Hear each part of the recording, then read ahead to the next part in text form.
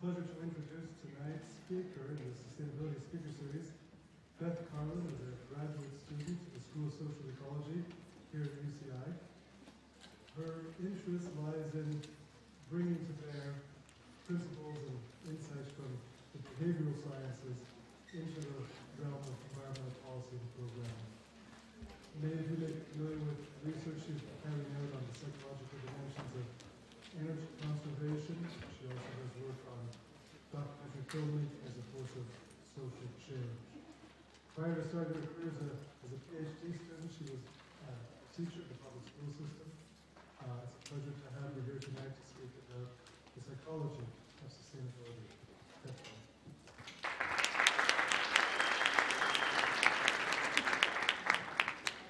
So I'm not used to speaking without moving or speaking into a mic because I'm really loud naturally. So I apologize to everyone in the press, but um, bear with me. So I'm going to talk about the psychology of sustainability, and that's a term that a lot of people are unfamiliar with. Generally, when people ask me what I do, what I study, and I say environmental psychology, they give me this really blank look. And I can tell that they have one of generally two pictures in their minds when they're asking me what I do. And I think it's one of these two. And they either think that I do something involving um, healing, natural or holistic healing, or that I actually give therapy to animals who are victims of climate change. And neither is true, actually. The psychology of sustainability, environmental psychology, is neither of those things. Psychology, although we mostly think of it as treating patients or giving clinical, um, clinically dealing with people uh, who have psychological or emotional issues, psychology is defined as the scientific study of the human mind and human behavior. So psychology is anything dealing with cognition, development, um, the brain, and or behavior at the individual level. So psychology is much broader, is inclusive of therapy and a clinical setting, but is actually much broader than that. My work is in a subfield of psychology called environmental psychology. And environmental psychology has been defined in a number of ways over the years. The top, um, first, most famous thing, definition is by Professor Dan Stokols, who's my advisor here at UC Irvine and one of the founders of the field. Um, but in general, environmental psychology deals with the relationships between humans and the environment, the environmental impact, the impact of, the, of our environment on our behavior, and then people's impact on the environment. And then our impact on the environment, the impact of our impact on the environment back on us, which is what I'm going to talk about. Um, but environmental psychology is very broad. It deals not just with sustainability, but it also deals with things like whether we study better in red rooms or yellow rooms, um, how many people in an elevator leads the average person to feel crowded versus just a little bit um, uncomfortable, traffic conditions, all sorts of things involving anything in the natural or built environment that impacts the human psyche or human behavior. So to look at, to become even more specific, from psychology to environmental psychology to sustainability, that requires yet another definition. So what is sustainability? And those of you who are participating in our sustainability seminar series or course are very familiar with some of these definitions. Um, in general, sustainability is the ability for anything, the capacity to endure, for anything to sustain or continue. The most common definition of environmental sustainability was coined by a group called the Brundtland Commission, which was formed by the United Nations in the late 80s. And they said that environmental sustainability is meeting the needs of the present without compromising the ability of future generations to meet their own needs. And that, that definition, and I, tend to not like to read um, off slides because I think most people who attend talks can read. But I, I think that's a really important definition. Um, and so, and I like to say it out loud because I think it's beautiful too. So environmental sustainability, you see the word environment isn't anywhere in there, but it's it's meeting the needs of our own needs without compromising the ability of future generations. And, and it's really an interesting definition because of what they left out. Um, they didn't use the word environment, and they didn't just say humans, just meeting the needs of the present, whatever present needs are as defined, without compromising future needs. Relatively undefined as well. And then the third definition, I'm really excited to share because, because I'm easily excited, and also because I just got an email this week on Monday from the National Academies of Science. And the National Academies of Science just said we are launching a new section of the journal, The Proceedings of the National Academies of Science, PNAS, in sustainability science. And they define sustainability science as, as you can see, as the emerging field of research dealing with the interactions between natural and social systems. This is really, really exciting for somebody who studies social science and the social science aspects of sustainability. They're focusing not just on engineering, not just on physics, but the interactions between natural and social systems. And they said that is what sustainability science is. Is not just one, not just the other, but the interactions between the two. So, hopefully I've made my point fairly clear, which is that psychology and sustainability does make sense as a term. These are not mutually exclusive, and it is a field worthy of study. People are impacting the environment, we're using natural resources, we're being affected by our environments, and there's something we can do about it. And psychology, as the study of humans, human behavior, human mind, um, is in a perfect place to do this. So that's what I'm going to talk about today. And I'm not the only person who thought this. The American Psychological Association a few years ago convened a task force to study the interface between psychology and global climate change. And I'm going to use that task force report as kind of an outline for my talk today, and I'm going to highlight, it's very long, anyone who's interested in this field should definitely read it. Um, it's really interesting, and it talks about how the past century or so of psychology can be applied and is being applied to study global climate change. But I'm going to use the outline from their report um, and highlight some, what I, some of what I think are kind of the most interesting um, and most promising and most fun to talk about research areas in this field. So they published this report, Psychology and Global Climate Change, and they identified six key areas in the study that psychology can contribute to the study of global climate change. And they, they phrase them in the form of questions. How do people understand what is the public's general understanding of climate change? What are the behavioral contributions to climate change and the psychological and contextual drivers of these changes? What are the psychosocial, psychological, and social impacts of climate change? on human populations? How are people adapting and coping with the perceived threat of climate change? What are the psychological barriers to action to prevent or mitigate climate change? And how can psychology contribute to intervening to change behavior? So I'm going to start with, um, with the first. What is people's understanding of climate change? How do people, how do the general public understand climate change. Um, and one of, I think, the most interesting theories is kind of an evolutionary theory, and it's called the, the theory of the risk thermostat. And the theory of the risk thermostat says that, that there are certain conditions under which we respond most clearly and most immediately to threat. Um, so threat response is highest when the following um, when the following criteria are met. And I like to think, um, and looking at the first one, simple causality, I like to use analogies, I like examples. So when I think of threat response, and when threat response is highest, and I looked over this list and I thought, what's a good example, um, kind of a physical example that I can use? And, and um, I'm not sure how many of you will relate to this, but um, there was a show called The Brady Bunch. Did anybody ever see The Brady Bunch? And there's this classic scene in The Brady Bunch where one of the Brady boys, there's, there's a mother, she's a lovely lady, she had three girls, this guy with three boys, and um, and they all came together and formed a family in the Brady Bunch. And there was there was this key scene in the Brady Bunch when one of the brothers were playing football and they threw this football at the oldest sister Marcia. And the football came straight at her and it hit her in the face and she goes, "Ow, my nose!" And then she got a big nose. She like a bloody nose and it's huge. Nobody wanted to ask her out. It's very sad for Marcia. It's a good episode. You should look it up on YouTube.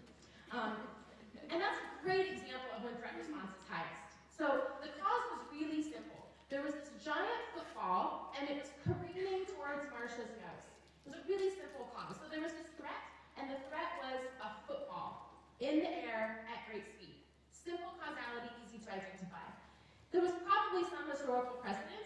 I don't think that Marcia had ever been hit in the nose with a football before, but there was some sort of historical precedent. We've all seen sports. We know that balls can fly at people's faces and hit them. We're all familiar with footballs and we have some sort of idea of what a football hitting you in the face might feel like.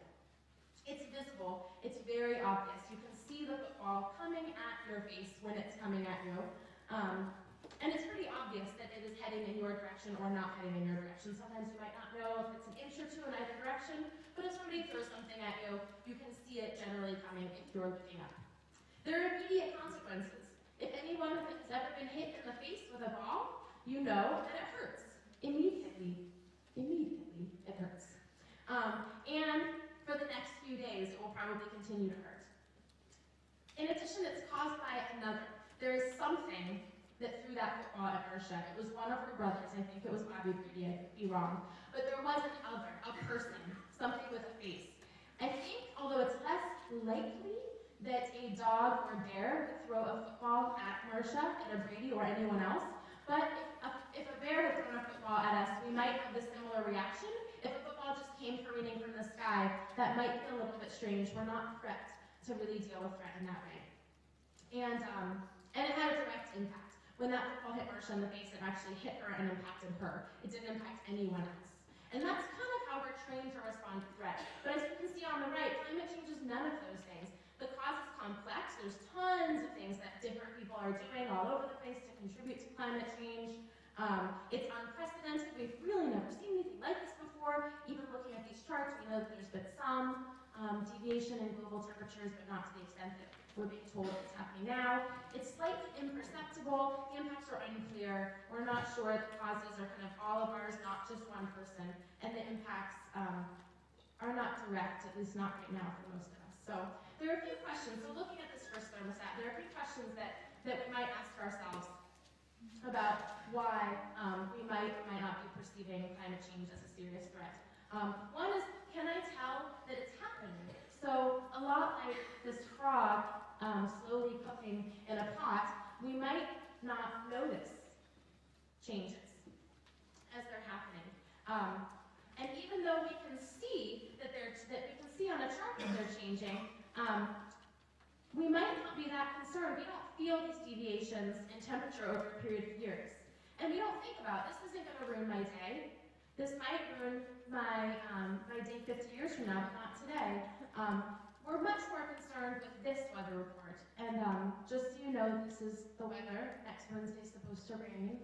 This is Irvine, just so you know. And really, let's be honest, that bothers you a lot more than the slide you just saw. You don't have to admit it, but you kind of felt a little different. Like, oh, rain. Um, and then, we already talked about this, but does it have a face? And I know we already, talked about this, I just really like this scary picture of, of a shark. And although I thought it contributed very little content to my presentation, I didn't want to take it out because um, I, I don't know why, maybe he scares me. Um, but it does make a point because because that shark we respond to in a really different way, in kind of a visceral or affective way that we don't to these smokestacks on the brain. And that's because there are two forms, two kind of processing that our that we engage in in our minds. And those are affective and cognitive processing. So the affective domain is kind of that feeling, gut level, immediate fight or flight response, risk thermostat side. And we really respond great to threat when it, when it um, affects us affectively. The cognitive part is the thinking, rational, analytic part of our brain, and it responds to threat, but only after it's been able to chew on it a little bit. Um, our affect largely is considered a little bit stronger when it comes to um, how we engage, actually engage in, in day-to-day, moment-to-moment behavior. So some of those differences um, we've already talked about. Affect is fast, it's automatic, it's emotional, it comes from experience. And it's, it's, uh, and we're thinking about things that are happening right now in front of us. That's affect. What's going on? That shark really affects me affectively because it looks like it's going to chew my face off. Right now, not in 20 years. Now, he's coming at me. Whereas our cognitive side is slow and learned, it's deliberative, we think about things, statistics, those graphs, the plumes. Like, I know that that stuff going into the air is bad. I, I know that. But that shark is so scary in a very different part of my body or my mind. And we respond differently to that. So um, we can cognitively appraise something. Like you can look, this is a really famous image, it's called the Keeling curve. And when you look at it and you think about it, and you you look and see that, that the carbon concentration in parts per million in the Earth's atmosphere has gone up from 310 to 380, and it's continuing to rise.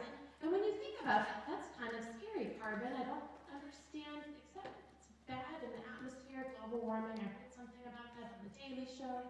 And you can kind of like think that that's not a good thing.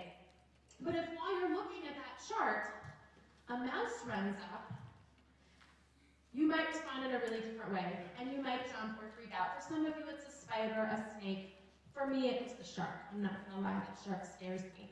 But the point is that even though um, we can cognitively process things, our affective response pushes us into action so much faster than that Keeling curve and that cognition does.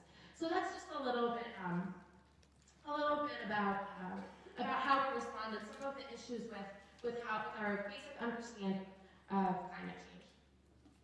Like I said, I'm in no way comprehensive. I would rather talk in more detail about a few things um, and encourage everyone to read that fabulous APA report or talk to me later than talk about every possible aspect of, our psychological understanding of climate change. So I'm going to move on to behavioral contributions.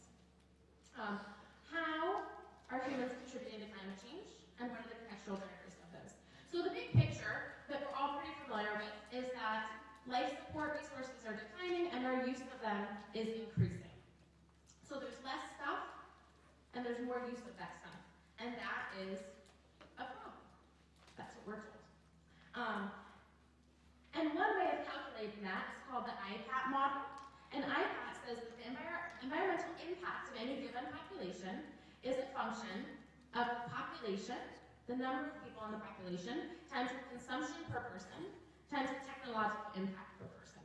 So I'm going to focus on population and consumption. So IPAT, or IPA, if I ignore the T, which I'm choosing to do, means that our impact, our environmental impact, is a function of the population times the consumption per person in any given country or region.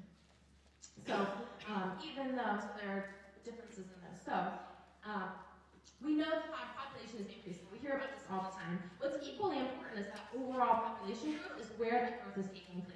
Most of the population growth in the past 60 years, continuing in the next 50 years, is coming from developing countries. Um, now, if you think about the IPAT model, that's kind of a good thing because, um, as we'll talk about, they use a little bit less resources than we do.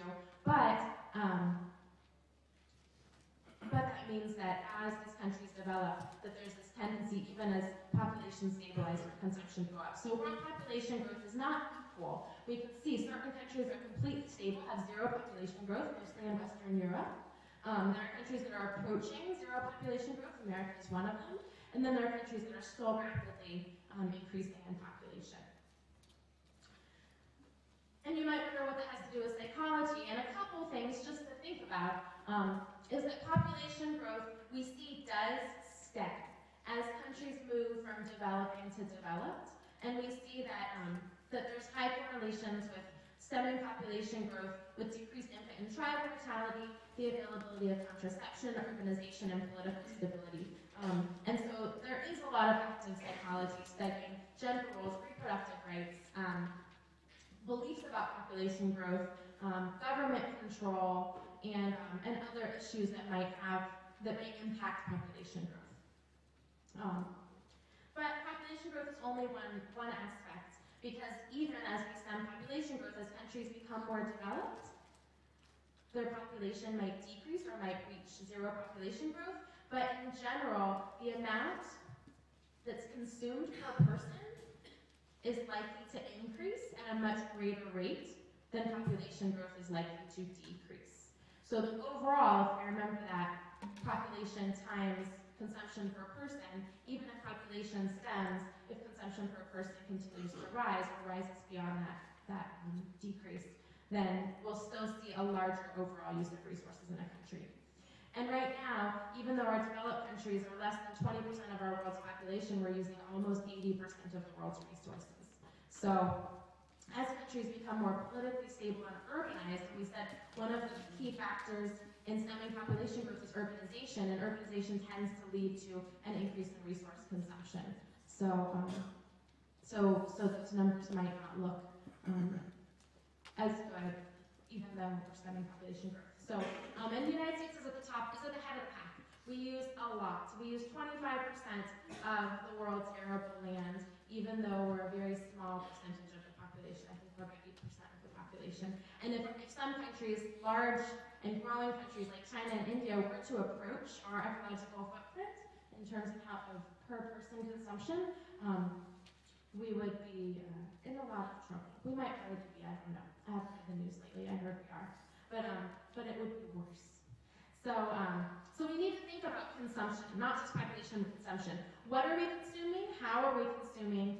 And what are these? What factors are driving consumption? And what are things we can do about it? So a lot of predictors of consumption um, occur at the contextual level, right? Land use, um, media, advertising, norms, structures. It's really hard. A lot of people say it's really hard to go without a car, especially in Southern California. Although Professor Mack does. Um, some people do. I went three months without one. I try to only drive one to two days a week. Um, but it, it, it is harder. So there are structural issues, there are governmental issues that affect um, how, how we consume. If you're in a, if you live in a city that doesn't let you have chickens in your backyard, let you grow your own food, or you can't afford a house with a yard, and uh, you might need to go to the grocery store to buy your food. So you're going to obviously increase your ecological footprint just by the fact that we're purchasing food as opposed to growing it ourselves. There are contextual barriers that affect our consumption. And then there are individual drivers. There are a lot of individual factors that affect how we consume and how much we consume. Age, gender, our knowledge, perception, our motivation, there are a lot of individual differences. So you might have two people that live in identical homes and they're um, and they, they live in identical city and they have the identical commute to work, but their ecological footprint is wildly different because of some sort of um, attitudes, beliefs, age, one has kids in the house, one doesn't, one's vegetarian, one takes the bus. So there are a lot of individual differences as well. And then levels three and two refer to two primary different kinds of consumption. Um, one is economic consumption, and that's, and when we talk about consumption, consumption of resources, and that's the consumption of resources, the indirect consumption of resources through purchased goods. So if I buy a t-shirt, there's actually a lot of resources went into the t-shirt, not just the cotton to produce the t-shirt, but petroleum that fueled the the truck and or boat that got the t-shirt to me and um, any food that fed the workers that made the t-shirt. There are a lot of different um, forms of, of resources that go into anything that we consume. And that is that does use natural resources. But there's also our direct or environmental consumption at level two, which is our immediate use of fossil fuels through electricity, through driving, natural gas, etc. We often think a lot more of level two as our consumption and forget sometimes about that indirect use. But anything you buy or consume also has um, consumption, and then that gets us down to um, actual emissions, which is level one. Um, so I'm just going to talk about um, about one piece of research. Uh, talking about the difference in, in level two, kind of the connection between level four individual drivers and, um, and level two environmental consumption and, and how some of these differences and, and, the importance of looking at some of these differences from a psychological perspective. Um, so conservation, when we talk about energy conservation, we're actually talking about not one, but many behaviors in the home. Um, one example is lighting. When we turn on, when, when if you choose, let me start that over. I didn't realize there were still animations on that slide. Um, when you choose to, uh, if you wanted to save energy through life choices, you can either turn off lights when you leave a room, or you can change your light bulb. You can actually do both. But these are really different. These are these could be very different behaviors psychologically and contextually. Turning off lights every time you leave a room is referred to as a curtailment behavior. So it's routine, repeated, habitual changing in behavior is a curtailment behavior as opposed to an efficiency behavior, which is a one-time or rare structural upgrade, changing your light bulb, installing solar panels, buying a fuel-efficient car, getting rid of your car, getting a bus pass, versus um, unplugging things at night, choosing not to buy a new computer and using your old one for another year, versus unplugging your computer and night when you leave the office. These are both very good behaviors, but they are different. And so um, I'm going to talk just briefly about some research that, um, that some colleagues and I did last year looking at the differences between curtailment and efficiency behavior. So what we did was we had an on, we distributed an online survey to about 800, a little over 800 people, and we asked them, do you engage in these behaviors, curtailment or efficiency? And we asked the three curtailment behaviors on the top and the five efficiency behaviors on the bottom. To what extent do you engage in or do you engage in, in these behaviors? And then we also asked them a series of questions um, from those levels, from level four. We asked a series of questions about um, demographics, age, race, gender, marital status, housing status, and then we also asked some psychological questions to see is there a difference? Are these behaviors actually motivated by totally different things? Are there different influences to these types of behaviors? Because understanding that might help us better intervene to address those, to change those behaviors. And we did find some really interesting differences. So first looking at demographics, we saw that efficiency behavior was much better predicted by age, race, and income, um, and mostly whether a person rents or owns their home. That really makes sense. Whether you engage in efficiency, those those structural changes to a home, might be a function of whether you own the home. And then some other things that correlate with the ability to pay for those changes, like age and income. Um, and we see a huge, huge um, percentage of that. 31% of the, vari- the variance in um, inefficiency behavior is accounted for by these demographic and contextual changes. Whereas for curtailment, the total variation is just over 10%, and very little of that is demographic. It's mostly um, home size and number of people in the home, and those are negatively correlated. So the more number of people, so the more people in a home, the less likely those curtailment behaviors are to take place right? If you've got 10 people in the home, lights are probably off a little bit less than if it's just you and your dog. Uh, and then psychologically, we also saw some differences in that efficiency behaviors were much, much less likely to be predicted by psychological factors, whereas those curtailment, those daily habitual behaviors, were more motivated or were more, were more correlated with um, environmental attitudes. So, uh, so we do see that these different predictors of behavior could potentially lead us to different models of behavior. So, um, so there might be different ways that we can address and encourage these different types of behavior. So, moving on to psychosocial impacts of climate change. How is climate change affecting us? So we talked just now about how we, we talked about how we understand climate change, how we contribute to climate change, and how, what, how is climate change possibly impacting humans? We learn, we know a lot about the impacts. We hear about them all the time on the news. We hear about the polar bears. That's really sad. I think he's gonna fall soon. Um, yeah, so cute. I know, sad. Um, so we know that there are a lot of potential physical impacts, but there are also psychosocial impacts of climate change, and there are a lot of negative psychosocial impacts. Um, we have a, there are emotional reactions. People respond very, very differently to climate change. Some people feel um, guilty and do something about it. There's a lot of fear. There's a lot of apathy, denial, numbing. So there are emotional responses when people hear about the science of climate change. There are a lot of potential mental health impacts, um, especially in areas that have already been affected or that are being more significantly affected by climate change. When we look at a lot of populations, in the small island nations. And there are a lot of small island nations in the world that um, the scientific evidence is pretty clear that they're not going to be able to live there for another century or so. Um, and so imagine if like you were told that America was going to be underwater and your family's lived, lived here for hundreds of years and at some point everyone, not just you, but everyone in your country is going to have to move and we don't know where you're going yet. There's this group at the UN that's talking about it. And they'll let you know at some point. Maybe. If it gets really bad, which we think it will. That's kind of stressful, right? Like just saying it makes my heart go up a little bit.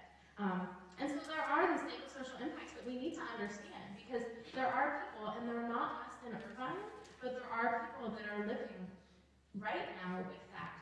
For us, the, the impacts, like we talked about, climate change are still fairly indirect, and we're lucky right now. Um, but it's not that way for everyone. There are people that are directly um, impacted. So possibility of displacement, so that's social and cultural, possibility of displacement and relocation, heat-related illness, and intergroup violence. So a lot of um, a lot of people really think that that a large percentage of intergroup violence, especially in um, in areas in sub-Saharan Africa, is actually um, caused by underlying issues of limited resources. And it looks like that's going to increase. So understanding the psychosocial impacts, understanding how this impacts people, how limited resources and dealing with limited resources, how people uh, can overcome these without violence is really important. Um, so I'm going to come back to those emotional reactions, okay, from the, the cultural. And, uh, and there's a classic coping theory um, by a woman named Elizabeth Kubler-Ross. And in the 60s, she came up with um, the five stages of grief. And, and she actually studied people who were dying of terminal illnesses and their families. And she said there are five stages that we go through when I when we find out that we are dying or when a loved one has died.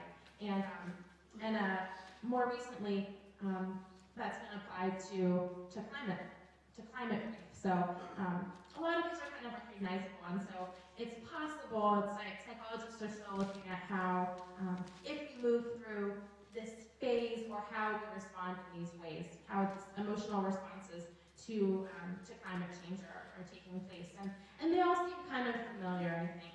Um, we've probably heard most of these statements on the news or said by somebody around us, or we might have even thought them. I know sometimes um, I hope that, that technology will fix these problems. You know, we talk about alternative energy so that we can keep playing PlayStation and watching TV and buying new iPhones when they come out. I think the five's coming out soon. Somebody told me that and I want to not want it. I really do. And I tell myself it'll be okay because we're working on more sustainable battery sources. And uh, and I don't think wanting a new iPhone is that bad. We all bargain.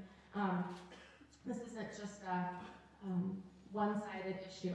Um, that there are people that are anti-climate change, and then there's us that are on this side. I think even as individuals, recognizing the fact that we're going through these processes help us kind of rationalize and think about um, think about how we're dealing with, with climate change in our own lives, because we all are dealing with it or not dealing with it, but that's dealing with it too.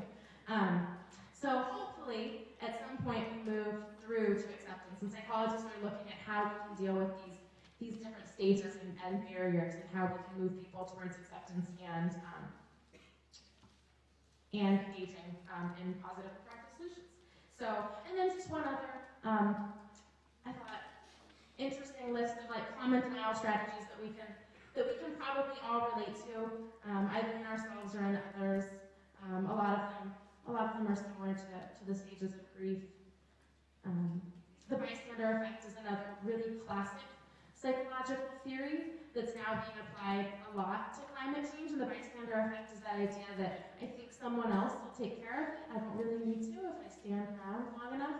And they've done studies um, in other areas where um, they've looked at the number of people standing around. If somebody drops like a ton of papers, the more people that are standing around, the less likely any one person is to help pick up those papers. The same thing with a stranded motorist. If you've ever thought to yourself, like you're on like this quiet desert road and your car breaks down, you're like, I wish I was on the 405 so I'd be okay. You're actually more likely to be helped on a stranded desert road than on the 405 in rush hour because everyone on the 405 in rush hour thinks that someone else is going to help you. And they have better things to do than help you. But if they drive by and they think, no one's going to help that person but me, they're more likely to help you.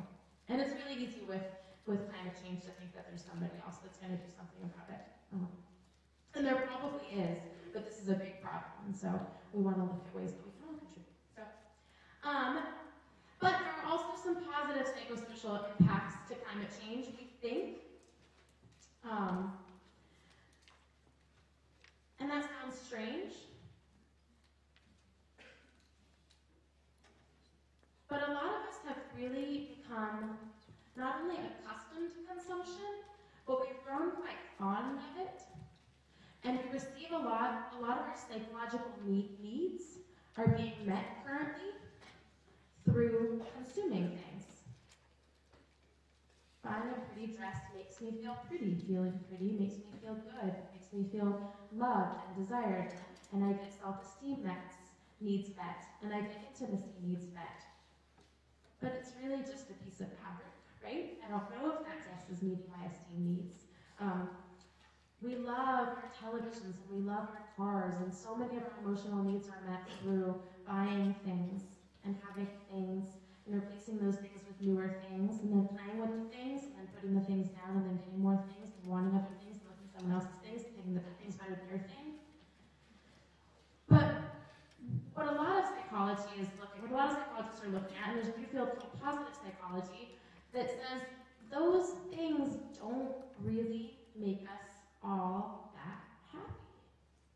And ironically, they make us less happy than if we didn't have the things. And I'm not referring to food, water, shelter. Um, but beyond that, and this this uh, this picture here is an oldie but a goodie. It's called Maslow's hierarchy of needs, and a man named Abraham Maslow said that um, that we start when someone a physical need. You don't have food or water, you can't breathe. You're probably not going to be worried about um, whether your life has meaning. But as lower needs are met, we move up to meet higher needs. And and I looked and I looked over this and I noticed that that um, that watching last night's episode of Glee is nowhere on the list, nor is PlayStation, um, makeup, fancy cars, nowhere on the list. Um, what those things do is is they, they replace temporarily some of these actual um, physiological or psychological needs.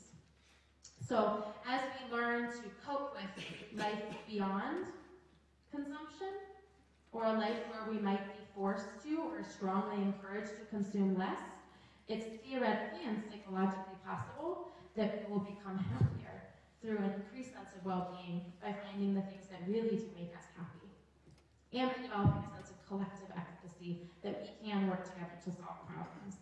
Um, so there are some positive impacts that we can think about. It's not all doom and gloom, unless you think that life without a PlayStation is doom and gloom, in which case we should start working on alternative fuel sources. Um, so next we're going to talk about adaptation and coping with perceived threat.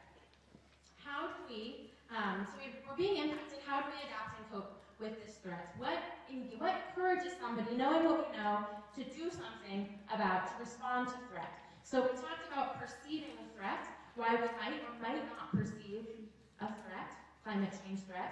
And the next step is appraising. So I know that something's going on. I watched that war movie. They mentioned it on the news once or twice. And now the next step to decide whether I'm going to respond or not is to appraise that situation. This is one possible, uh, this is one theory of appraisal. is called protection motivation theory. And protection, motiva protection motivation theory was first applied to health behavior settings and, um, and the idea is that we appraise both threat, how much of a threat something is, as well as our ability to cope. And whether we perceive something as a high threat and we have the ability to cope, that appraisal will determine whether or not we respond or engage in the response. So um, if we sense that something is a great threat, and like I said, this was at first applied to health behavior. So for example, um, if I have, I don't know, if, if, um, if I'm going to the beach and I'm not sure, and, and we want to know if somebody's going to wear sunscreen to the beach or not, or if they're going to do something about keeping their um, skin clear from um, from potential dangerous UV rays. Um, it depends on whether they think that there's really a threat of being in the sun. So if I look outside and think it's kind of a cloudy day, I'm probably not going to get burned today, or I'm only going out for half an hour, um, or really, like, what are the odds that one day at the beach, I really want to get chance of going on vacation, one day at the beach really isn't going to give me cancer. Like, that takes 20, 30 years of prolonged exposure. So, what, so if I don't really perceive that this is a great threat, I might be less likely to engage in that behavior. In addition, um, I need to have a sense, I need to assess my ability to cope or do something about that threat. So if I think, well, yeah, that's a big problem, but I don't have any sunscreen, and I'm meeting my friends in five minutes, and I can't be late. Parking at the beach is really bad. Um, I don't really like putting it on. It makes my hands sticky, and I hate that. I don't have any handy wipes, and I brought a sandwich, and I don't want my salad to taste like like uh? Sunscreen. Thank you. Like sunscreen, or I don't know. I don't know how to put it on. I can't get it on my back. Whenever I put it on, I always miss a spot, and then I have this weird little dark spot, and I hate that. It looks funny.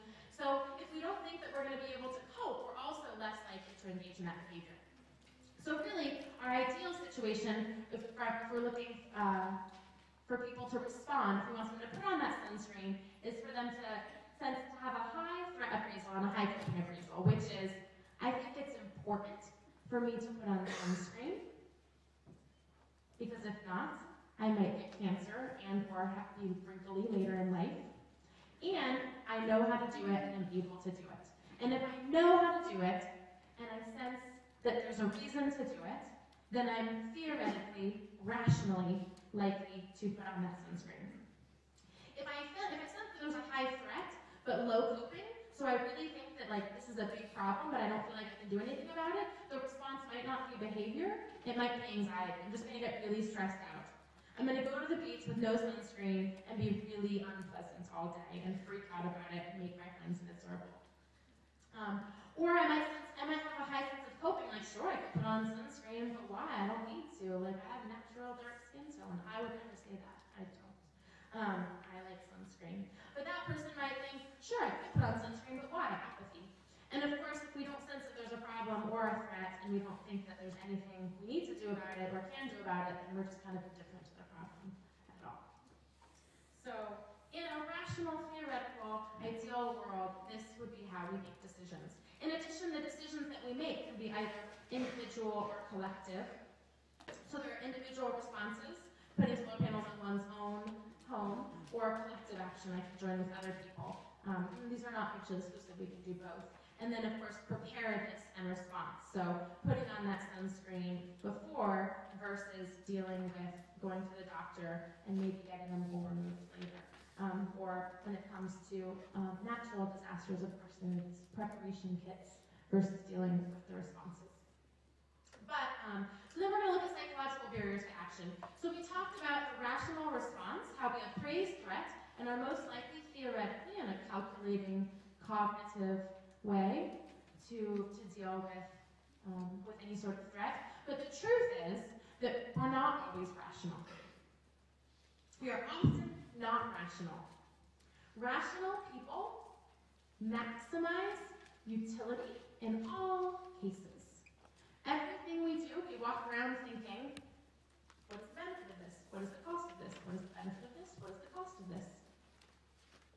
And we make our decisions based on that calculating of benefits and costs of all of our actions.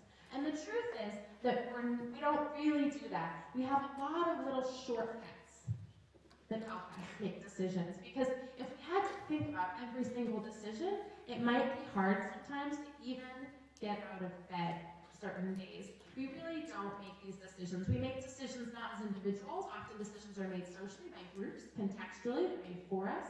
We're not always, we don't always have all the correct information to make a decision. Um, we often have habits or emotions involved in our decision-making processes. So, um, so there are a lot of things that go on. We're not, we're not really, oh really? I don't know, straight to that. Um, so we're not always rational, and a lot of, um, a lot of our irrationality, however, we're not completely irrational. There's a man named Daniel Ariely um, who wrote a book recently called Predictably Irrational, he's in a field called behavioral economics, which is basically um, economists using psychological theory to study decision making. Um, and he wrote a book called Predictably Irrational. He said, we're not always rational, but but we are predictable in certain ways. And and this field is based largely on the works. I could have sworn I had a slide about them. Where did those slides? That makes me so sad. We lost three slides. That's okay. Um, were good ones too. So, uh, so it was his, so this field of behavioral of economics was based on the work of two men named Tversky and Kahneman, and they actually won a Nobel Prize for their work. And, and they said that there are these things called heuristics, and heuristics are like rules of thumb. That there are these behavioral kind of shortcuts that we go through when we're making decisions. And I'm just going to talk about a couple of those shortcuts. Um, examples of what possible barriers are to this rational protection decision-making process. So one of them is called anchoring. And, um, and this is actually, um, this is from the Economist website, at least a couple years ago. This was a study that, that Daniel Ariely did. And he saw this and he thought, this is really interesting that the Economist gives these three options for um, subscriptions. So there's a $59 option, which is just online only, economist.com. You just read online content. There's a print only for 125 or you get print and web for $125. And that's the exact same price as the print subscription, which kind of makes it look like a good deal to a lot of people. We thought it was really interesting. They the print subscription and the print and web subscription exactly the same. And one of these heuristics is called anchoring. And that means when we have multiple choices, we have a tendency to, to compare, to prefer comparing the two that are most similar. It's also called asymmetrical dominance. That um, so this $59 is really different than these two 125s, but I've compared these two 125s pretty similarly, and obviously the print and web is a much better deal. So given these three options, and, and in the first part of uh, Professor Ariely's study, they found that 84% of people chose the print and web subscription. Given these three choices, this seemed like the best choice. Um, but then he said, what if there wasn't a print subscription? What if people just could choose between this economy, of the online only, and the and the print web for 125? So we were just given two options. What would um, would 84% of people still make that choice? And what he found was that um, they didn't make that choice. The numbers changed. 68% chose the online only subscription, whereas only 32% um, chose the print and web. And so you look 84 to 32%, that's 52%. That means that um, if these numbers could, could predict actual economist.com subscriptions, the economist, 50% of people who subscribe to the economist spend twice as much money as they would otherwise because of the presence of a third anchor, of a third option. So these, these strange little heuristics, now theoretically, rationally, the presence of this option should not have any effect on whether you want the print subscription or not. If you don't want it, you don't want it, right? I don't want the magazine. It's bad for the environment. But it's free. Look, if I get print, it's 125, and this is like you get both. It's such a good deal. Duh. Like, of course I'm gonna get it. But it might not be what we would otherwise choose. Um, another example, um, another common heuristic, or two common heuristics are um, loss aversion and the endowment effect. And these are really interesting. Um, they're kind of two ends, two sides of the same spectrum. Um, things that we have, endowment effect says, once I have something, I endow it with much more value. So we value something we have much more than something we don't have. And if I don't own it yet, then getting it is less important because it's a gain. So constantly, so we value losses much greater than gains. And we value things that we already have as being much more valuable than things that we don't have. That might not make sense, so here's an example. Um, this was another, um, another, another study. Students were given um, university mugs, and they said, they gave them these, these cute little Cornell mugs, and they said, how much would you be willing to sell this mug for? How much do you think this is worth? Would you like to sell this mug for? And then the other students were asked, how much would you be willing to pay for one of these mugs? So what is the valuation of this mug to you? What is this mug worth? How much would you sell it for? How much would, and they were just some, half the people were given the mug, half the people weren't. Um, and, uh, and the mug, you might say, if you hadn't given anyone a mug, what is the value of a mug? And, and it should be about the same for all, for all these students. Um, and, uh, and what ended up happening is that the students who had the mugs valued them twice as much as the students that didn't. So the students that had the mugs said, I would sell this mug for maybe 450, five bucks. Like this is my mug. I'm not going to sell it for nothing. Um, and then the students without the mug really weren't willing to pay that much for the might think that's kind of weird, like, these students didn't want mugs, they were just kind of given mugs, right? Um, what about something that somebody wants, does it really work the same? And there was a follow-up study conducted with basketball tickets, Duke basketball tickets. And, uh, at Duke, when they, when they make the finals, I think, for all the basketball games, especially when they, when they make the finals, they have a lottery for tickets to the game, all students, anyone who wants a ticket, goes to this lottery. And so, um, Dan Ariely got his hands on that list, that lottery list of people that were in it. And some people got tickets and some people didn't. And they all wanted the tickets, they were all in that lottery. So he went immediately afterwards and said to all the people that got the tickets, said, how much would you be willing to sell these tickets for? And then he went to everybody who didn't get the lottery, who didn't win, win the tickets, and said, how much would you be willing to pay for tickets? And uh, lo and behold, about the same thing happened. The people who had won the tickets wanted twice as much for them as the people who um, didn't, who, who hadn't gotten the tickets. And um, and they said very different things. And what was interesting was he asked them, why? Why do you think it's worth this much? Why are we not? Why? And and everyone focused on, on what they had. The people with the tickets said, he said, how much would you be willing to sell these tickets for? And they're like, like thousand bucks. Like, why is that? Because the once in a lifetime game. Like, uh, this is an experience that I would never have otherwise. I don't want to give that up. It costs a lot. It takes a lot of money for me to give up what I have, which are these tickets. And then there were people that didn't have the tickets and said, how you willing to pay? And they were like, ah, 50, 65, mm, I don't know. And he said, well, why is that? And they didn't talk about this once in a lifetime opportunity. They said, because it's a lot of money, you know, it's in my pocket. And if I spend the money, like it's just a game, I can watch it on TV, it's no big deal. So really, when people were asked, they focused on what they had rather than what they didn't. Um, so these barriers are really interesting, and I just picked a couple. Um, there, there are a lot more, and they all clearly have implications um, for climate change, which we'll talk about.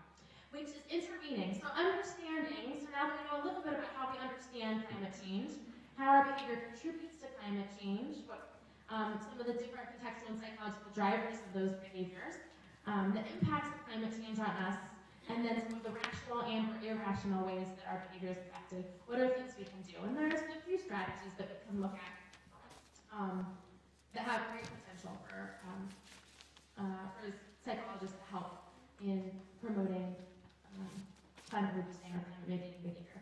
One is called framing. Important how something is said has a large impact on how people respond and whether people respond. Um, for example, the words that are used have a huge impact. There was a, um, a really recent, a really interesting study where they found that, that people were twice as likely to be willing to pay a carbon offset for a future flight than a carbon tax. Um, 65% of people were willing to pay a carbon offset for a future flight, and I think it was 32%, 32 and 33% were willing to pay a carbon tax.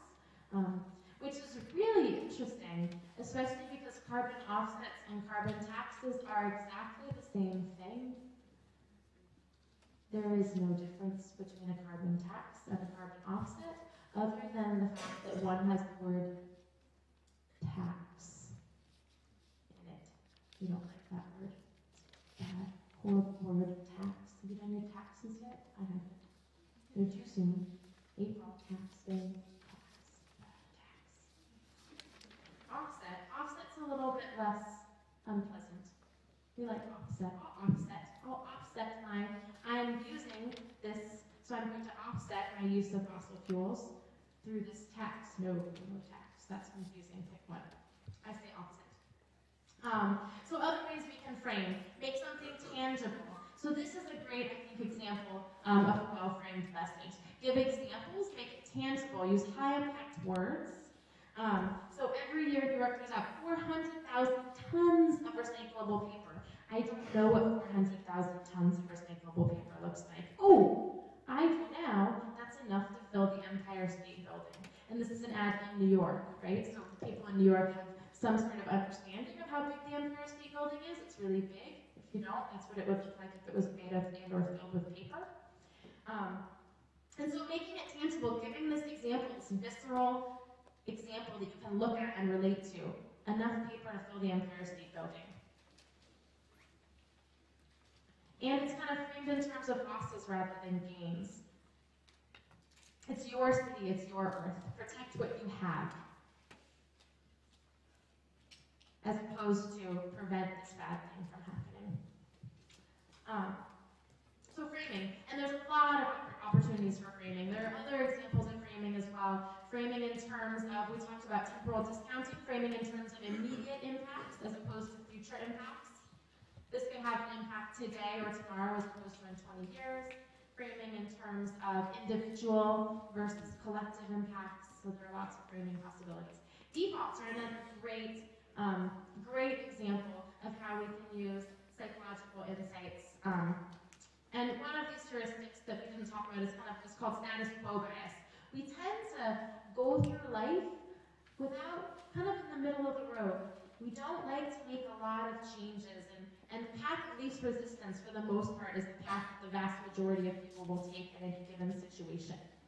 So, how governments set that path will have a large impact on how people behave. For example, these are actual organ donation rates of um, of what was that? Eleven, a dozen? One, two, three, four, five, six. One, two, three, four, five, six, seven. Eleven. Eleven countries in Western Europe, and these are their actual organ donation rates. In it was published in 2003, I think 2001 rates. And it's interesting to see that, for example, Germany and Austria are close neighbors, culturally possibly similar, but Germany's organ donation rate is 12%, whereas Austria's is 100%. Now, there could be a lot of individual variables that affect that. Maybe Germans are bad people and Austrians are really nice. It's one hypothesis. Um, but it could also be that that the status quo, middle of the road, path of least resistance for organ donation is different in Germany than it is in Austria. And that's in fact the case with these countries. Um, the difference between these countries is that in the countries on the right, the default option, if you are born, go through life, and then die, and you never mail anything into the government, we're going to take your organs. That's the default. If you don't want to, don't want us to have your organs, totally cool. Just fill out this little thing and send it into the government, and we will leave your organs alone, and you can do whatever, or you'll be dead, but your loved ones can do whatever they want with them. The other countries, and America is an opt-out, is an opt-in country, say if you're born and you go through your life and you've never done anything and you die, we are not going to take your organs. We do not have your permission unless you fill out this little form and send it in. In both cases, it is totally up to you whether you donate your organs or not. It's not mandated in either circumstance. But participation rates are significantly different. Just based on what the default, what that path of least resistance is. Social norms. Um, this is a hot area in psychology right now. Um, this seems like it would be a really great advertisement. Um, says, did you know that cigarette butts are the most commonly littered item? Don't trash California. Everybody, everybody's throwing, throwing cigarette butts on the ground, and it's awful. Don't do that. What's interesting is that there's there are two messages going that being being given to you here. One is that it's kind of gross. It's a gross picture. Like don't trash California. Cigarette butts are gross. But the other message that you're getting is everybody else does it. Everybody does it. Throws cigarettes on the ground. It's normal to throw cigarette butts on the ground. If you smoke, if not, it's just weird. Why do cigarette butts in your pocket? That's creepy. But if you do, everybody throws them on the ground. So you should you shouldn't. But it would be normal to do so. And so, um, so social norm researchers would say that, um, that this is not a very good ad. And, and one gentleman named Robert Cialdini had that hypothesis and decided to test it um, in the 90s. Not with cigarette butts. They went to a national park in, uh, was Arizona, and um, and they looked at graffiti. I think it was graffiti or litter, and they saw a sign that said, "People always litter here. Please don't." And they just stood, they wa- watched for a while and looked at the number of living incidents, um, and wrote it down. And then they changed the sign to say, this park is beautiful, no, it was taking fossils, this is what it was, it was taking fossils from the preserve. And it said, every year, it was kind of like this message, every year lots of people take these fossils, and be one of them. And they looked at how many fossils people took. And then they changed the sign and they said, we have all these fossils and nobody ever takes them, so you shouldn't either. And then they counted. And they found that, that the message, the message that said, everybody's taking fossils, in a few years there's gonna be no fossils left, like, please, leave a fossil, please, didn't work. But the other message that said there's an abundance of fossils because people just like you don't steal, that was very effective. So this has really changed a lot of the way that we promote collaborative behavior because this used to be very common. And now instead we're seeing more messages like this. Join your neighbors in conserving energy. How do you measure up? How much do your neighbors conserve? Do you conserve as much as them? Nobody throws cigarette butts on the ground. It's gross. You should either. And we're finding that these messages are a lot more impactful. Um, lastly, um, is, uh, is another, I want to throw in, this is another one of um, the primary areas I work is on feedback and energy conservation. And this man, Alan Kempton, said in, um, in, the, in the early 90s, he said, imagine if you went to the grocery store and you just walked down the aisle with your cart and there were no price tags on anything at all. You could just put food in the cart and go home and eat it. And then, at the end of the month, instead of getting this receipt, you got a receipt that said, you consumed 1,527 food units this month, and here is your bill. And you're like, that's expensive. I need to save money. But you have no idea how much things cost. And Ellen said that's exactly what our use of fossil fuels is like. We have no idea how many kilowatts we're using when we use electricity. We have no idea how many carbon, how many tons of carbon went into our t-shirts or our hamburgers. None. So the idea of translating that, giving us information, just like at the grocery store, we get price information about our food, we get nutritional information that's regulated by the government. What about giving people information about the energy emissions? So right now, this is what we get, the bill at the end of the month. And that's only electricity. We don't get that at all for the products we buy? We have no idea the number of kilowatt hours or the number of gallons of water that went into the, the things we purchase. So um, there is this huge area looking at how we can give information. How can we give you information about the um, environmental impact of these of these figures? Um, and then, um, and and if we can compare this in relevant ways, so if we frame this is kind of combining a few things. If we frame um, frame something in a way that people understand. So the average U.S. home uses about 35 kilowatt hours a day of electricity, which is about the same as a double bacon cheeseburger. So if we frame this as the average person uses the equivalent of 35 double bacon cheeseburgers a day, and then we give you information on how much you're using, possibly allow you to compare with others in your neighborhood, then we might really be able to provide properly framed, um, socially normative feedback, information about our use, and theoretically, things like this will help us make better decisions. So that was just a small um, sampling of psychology of some of what I think are the interesting areas in psychology and sustainability. But, um, but the point is that, is that there's a that we can do and can study, um, and it's up to all of us to decide what we're going to do